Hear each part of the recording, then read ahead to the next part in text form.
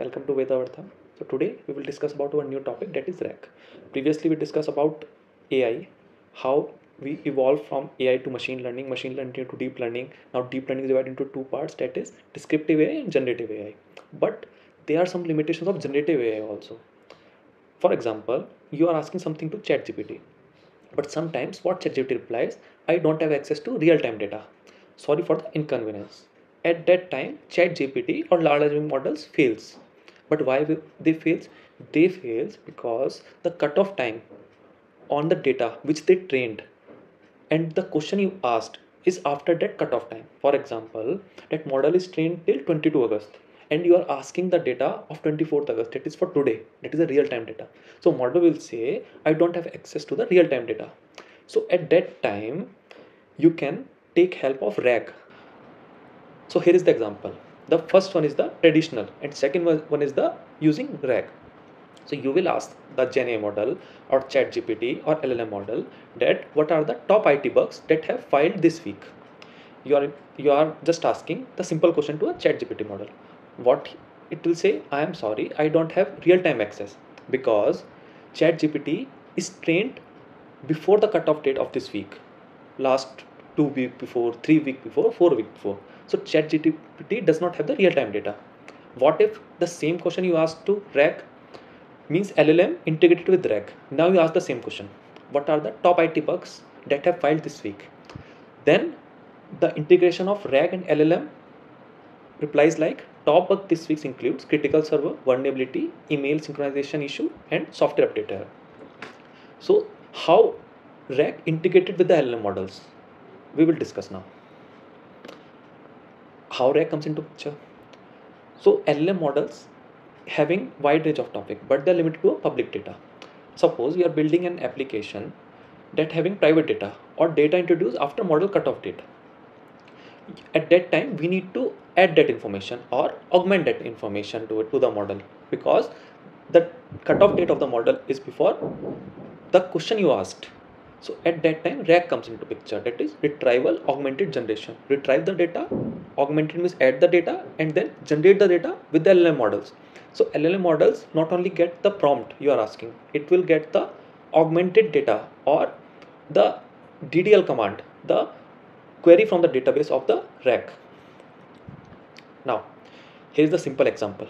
You ask the question, it will go to RAG, RAG will retrieve the data, augment the data, then your prompt will go with the DDL query of the RAG and then LLM model responds to the user. How it will work? For example, let's take a simple example. You will ask the LLM model what ports are needed for connectivity between Bluetooth XP classification and Bluetooth XP connector. But if you ask it directly to LLM, so LLM unable to reply or ChatGPT unable to reply.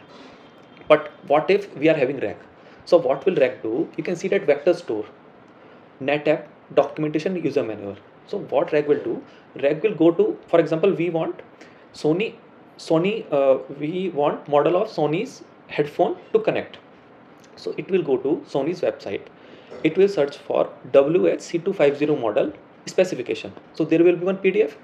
It will take that PDF, convert the text to numericals, chunks that data, stores in their vector database, then send it to LLM. For example, it will store it in your database, then send to LLM. So LLM now having data to how to connect to a Bluetooth XP to Bluetooth XP connector. Previously it unable to access that. So RAG having functionality to convert the semi-structured data or unstructured data to its vectorized database, then send output to the LLM. Previously, that PDF, LLM or ChatGPT unable to convert it directly, but RAG can do. RAG having its tools with them. So the response is port 43 needs to be configured to ensure connectivity between Blue, BlueXP connector and BlueXP classification. So what answer previously LLM model, large language model or ChatGPT unable to give, but now with the help of RAG, they can answer the question. So how RAG is working? We will go deep inside the architecture. First one and the second one. First part is documentation retrieval and ingestion. We can see with the full form of RAG, retrieval augment generation means it will drive the data augment means add the data and then generate the data so there are some pdf it will pre-process the document then document will be embedded to a model rag model it will be an any model. For example we take ann artificial neural network that will document it embedded to a vector db so there is a vector db what vector db will do? Vector db will take that text data chunking that data convert them to a numerical is in 0 1 form. Now you in the second part you can see you are the user. You ask something to a chatbot that is chatgpt. Now that chatgpt go to embedded model that embedded data embedded model will check that data into the database to the rag database. For example you are we have taken one example previously. We want the data of sony's ws-c250 model. So it will check whether in database any information is present or not. If any information is present so it will send the llm model that prompt what user is asking as well as that query for example select star from the model where model name is wcs250 so llm can provide the proper output to the user. Not only the simple one that this is the generic information. It can now tell the complete information with 100% accuracy. So this is how rag works. Basically there are two dots that rag connects with llm what are they? One is indexing. For example if data comes it first load the data then split into several files then embedded the data. Embedded means converting them into vectorized form then store the data. And the second one is retrieval and generation.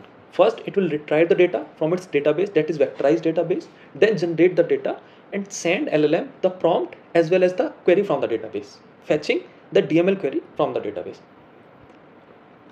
This we already discussed the ingestion of data, retrieval search, processing raw text, and tokenize. Tokenize means just converting into form of 0 or 1 in tokens.